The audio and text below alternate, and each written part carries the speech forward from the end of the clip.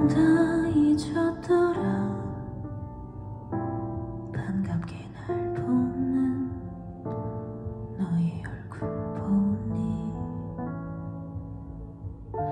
이제야 어렴풋이 아파오더라.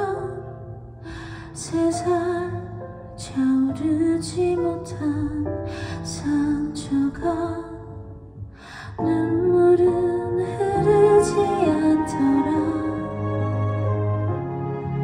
이별이라는 게 다닿지도 못해서 이렇게 보잘 것 없어서.